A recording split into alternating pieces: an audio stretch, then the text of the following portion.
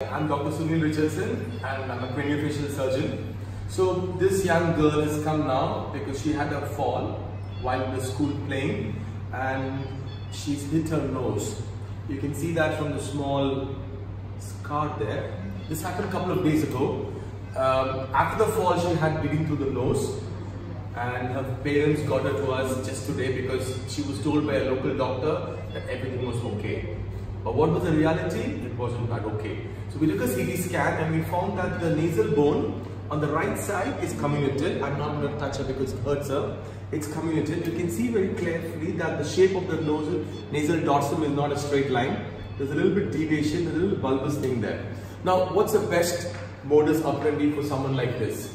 What I like to do is when it's a small displaced fracture, even if it's this minimal, it's better to just put a splint. So we would do an internal and an external splinting. The internal splint would stay for a few days and also the external splint. We like to use a thermoplastic splint for the external and some kind of a packing for the nasal internal splinting. She would not need anything else and since she's a young girl, we're going to do this under general anesthesia. It's going to be a super quick one, like about 30 minutes. It's night here because they unfortunately came and met me this afternoon. But typically these are daycare cases. That is, they would come in the morning and we would send them home by evening. But in her case, they would stay over tonight and I would probably see her tomorrow morning and if everything's okay, she goes home. So the model, the message story is even if there be a very small nasal bone fractures, uh, minimally displaced, it's better to fix it so that you don't have a deformity later on and this is much much easier than having to wait and do an extensive rhinoplasty later. Thank you. Had um, an accident. So just doing a reduction of the nasal bone fracture. The fractures here, there are a few fragments. I just like to use this instrument for cases like this. It's very simple. So patient is under general anesthesia and you just have to reduce it. This is three days old fracture. And you see that? That's it.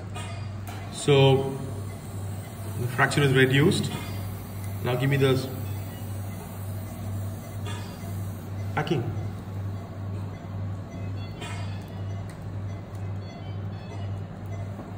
What this instrument does is it's just a BP handle. You could use number three or number four. You go inside and just move it at the place where the fracture is. It's a comminuted fracture. You can feel it reduced. So the CT showed fractures here four small pieces there. On the other side is normal. So you can feel with the pulp of the fingers and once it's reduced, it's done. Now to make sure it stays in that place, uh, do what's the internal splinting or nasal packing will not need a lot of quantity but we will just push this and support the fracture segment please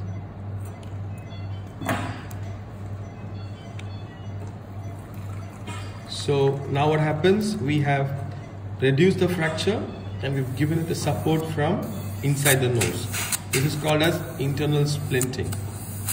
So now that's not enough because you would have also want to make sure that it's splinted from outside. So that's called as a external splinting. And we use a thermoplastic splint material.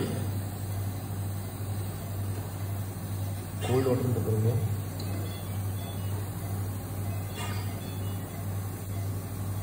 Yeah. So this is the splint I'm going to use. The thermoplastic material so it sets when you put cold water. Doesn't necessarily have to be that big. You can also reduce the size. But it's just placed on top adapted to the shape of the nose. And then we put some cold water. Put some water please okay that's it. Okay. So it will turn from translucent to white and more opaque.